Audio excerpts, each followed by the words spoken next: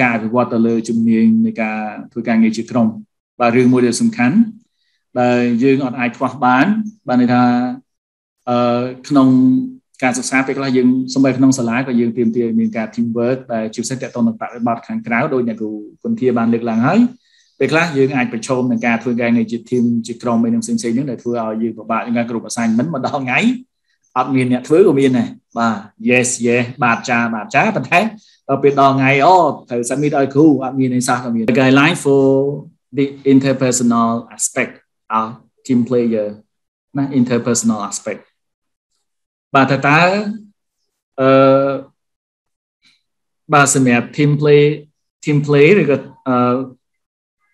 អឺ team ដែលមានសិទ្ធិភាពហ្នឹងត្រូវមាន interpersonal ហ្នឹងបែបម៉េចត្រូវមានអឺអឺ ជំនាញបាទលក្ខណៈជាអន្តរបុគ្គលហ្នឹងបែបម៉េចទីមួយគឺគាត់ត្រូវអីត្រូវ communicate frequently and assertive ណាត្រូវតែមានការតំណតំណងទៅវិញទៅមកជាញឹកញាប់មានអីសង្ស័យសួរហាមសង្ស័យស្មានបាទជំងឺសង្ស័យនឹងសម្លាប់ទំនាក់ទំនងនិងសម្លាប់ productivity នៅក្នុងក្រុមបាទ assertive លក្ខណៈថាយើងព្យាយាមសាកស្វែងអឺ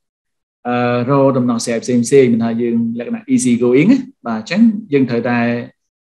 កំណត់មួយលើកមកកុំតន់ reject ឬក៏កុំតន់មានការអន់សពុនចិត្តទៅលើកំណត់ឬក៏ការ reject ណាមួយតែយើងត្រូវតែជាម្នាក់ដែលយើងអាចថាយើងរកអ្វីមួយឬក៏វិធីសាស្ត្រផ្សេងដែលយើងអាចសម្របសម្រួលក្នុងក្រុមការងារនឹងបានទី2 trust team member បាទត្រូវតែបង្កើតទៅម៉េចឲ្យ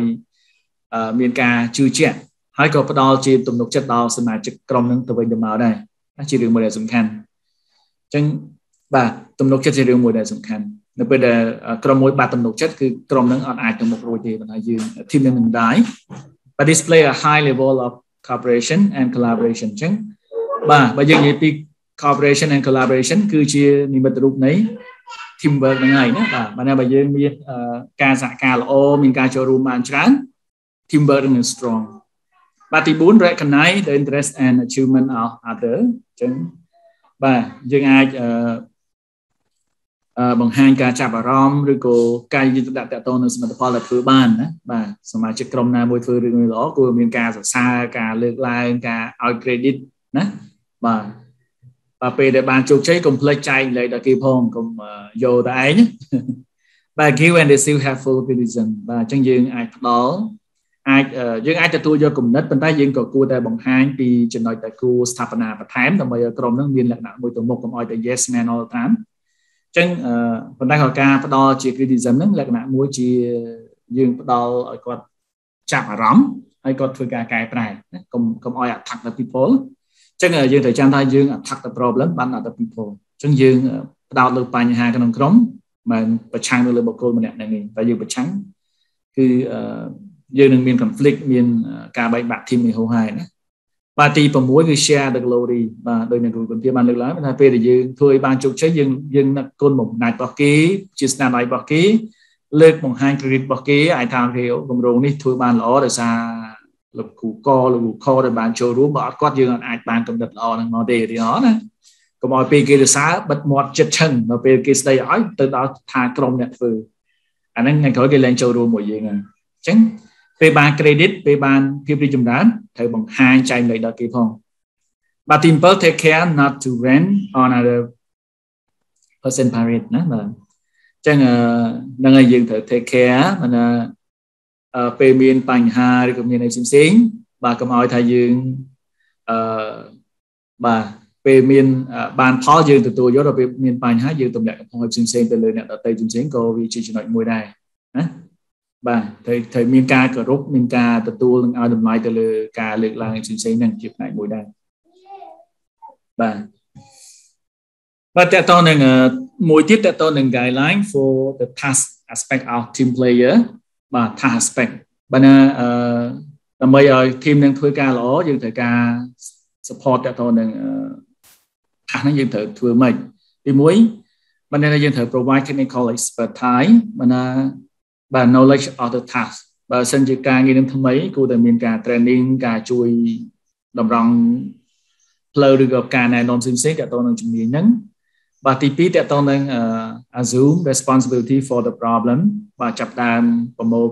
បញ្ហាហើយយើងអាចបែងចែកបាទឬក៏មានការចូលរួមដើម្បីដោះស្រាយបញ្ហានេះអញ្ចឹងពេលខ្លះបើយើងជា team ដែលល្អអាចនឹងមានអ្នកចូលរួមដើម្បីដោះស្រាយបញ្ហាហើយ មួយទៀត see the big picture ផ្ដោតលើបញ្ហាធំជារួមបាទអញ្ចឹងពេលខ្លះបើយើងកន់រឿងទូចទូចវាធ្វើឲ្យ team នឹងអាចងាកទៅនេះងាកទៅនោះតែបើយើងបើយើងមើលទៅថាសមាជិកក្រុមចាប់ដើមងាកចេញពី big picture ហើយយើងអាចទាញមកវិញទេអញ្ចឹងយើងអាចមើលទៅតើ big picture របស់យើងជាស្អីទៅណាណាតែតែគោលដៅទៅទៅកំពង់សោមស្រាប់ទាញទៅខាងផ្លូវជាតិលេខ1អានឹងជារឿងបញ្ហាមួយអញ្ចឹងត្រូវមើលទៅ big picture បាទ believe in consensus អញ្ចឹងយើងត្រូវចាំថាអឺត្រូវជឿជាក់ទៅលើអ្វីដែលជាភាពស្រស់ស្រួលគ្នាណាប្រយ័ត្នកូនចៅគេ9នាក់គេស្រស់ស្រួលគ្នាតែអត់តែមេតែមួយគំនិតខុសគេតែឯងហើយអត់អត់យល់គេដែរអញ្ចឹងយើងត្រូវតែទុក personal agenda តទៅនឹងការយល់ឃើញឬក៏ការកាត់ឃើញរបស់យើងជាលក្ខណៈជាបុគ្គលហ្នឹង បាទមកតាមគេអ្នកដែលគេគ្នាគេ9អ្នកដែលគេយល់ស្របនេះយើងត្រូវតែទៅតាមគេដែរអញ្ចឹងកុំអានថាយើង team leader យើងអត់តាមគេណាបាទ focus on deadline យើងចាត់ទុកថា deadline ជារឿងមួយសំខាន់ជា formal contract មួយ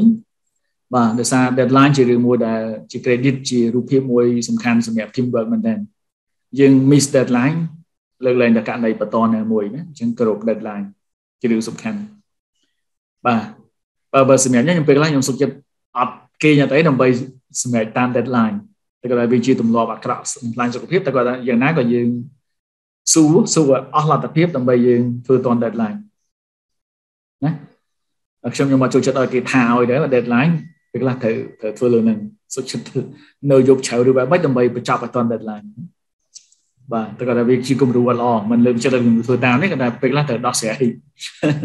ទី6 help team member to do the job better បើយើងស្វែងយល់ថាសមាជិកក្រុមរបស់យើងមានដំណាំអ្នកប្រទុនខ្សោយឬមានបញ្ហាទាក់ទងនឹងការងារប្រកបយើងអាចជួបជជែកតែយើងអាចមានលទ្ធភាពខ្លះជួយគាត់យើងអាចផ្ដល់ជា option ជាជំរឿសឲ្យគាត់ធ្វើ1 2 3ប៉ុន្តែមិនមែនជាការ suggest ឲ្យធ្វើទេតែផ្ដល់ជាជាដំបូងមានឬក៏ជា option នៅជាជំរឿសឲ្យគាត់មើល1 2 3គាត់អាចធ្វើមួយណាខ្លះតែគាត់ធ្វើអំពើរបស់គាត់ក្នុងលក្ខណៈថា យើងមិនអាចថាគេអត់ធ្វើតាមខ្ញុំថ្ងៃក្រោយជួបផ្ដល់ជាដំបូងមានអត់ទេគាត់ជាគាត់ទៅជាគំនិតរបស់យើងយើងគិតថា1 2 3អាចជាដំណោះស្រាយតែបើគាត់ធ្វើមិនធ្វើជារបស់គាត់អញ្ចឹងយើងជា consultant ឬជាអ្នកជួយយើងត្រូវត្រូវមានចិត្តមួយថាបើគេអត់ធ្វើតាមជាជំរឿនរបស់គេណាបាទ be a good uh, organizational citizen ណាធ្វើមិនឲ្យយើងខ្លាចជាអីជាបុគ្គលឆ្នើមឬក៏បុគ្គលដែលយើងខ្វល់ខ្វាយពី ពីបញ្ហារបស់ស្ថាប័នជាជាម្នាក់ដែលមានចិត្តមានថ្លើមយើងថាយើង involve បាទហើយយើងព្យាយាមធ្វើម៉េចឲ្យដំណើរការ team ហ្នឹងដើរទៅមុខបានបាទបាទជាយើងអាចបដោះ team ហ្នឹងឲ្យមានជាអឺ good organized citizenship ជាជាមិនថាជា ownership ណាយើងអាចបង្កើតឲ្យមាន ownership បាទការទទួលខុសត្រូវទៅលើការងារផ្ទាល់ខ្លួនឯង role ឬកន្ទួនទីខ្លួនឯងហ្នឹងដើម្បីឲ្យស្ថាប័នហ្នឹងរីកចម្រើន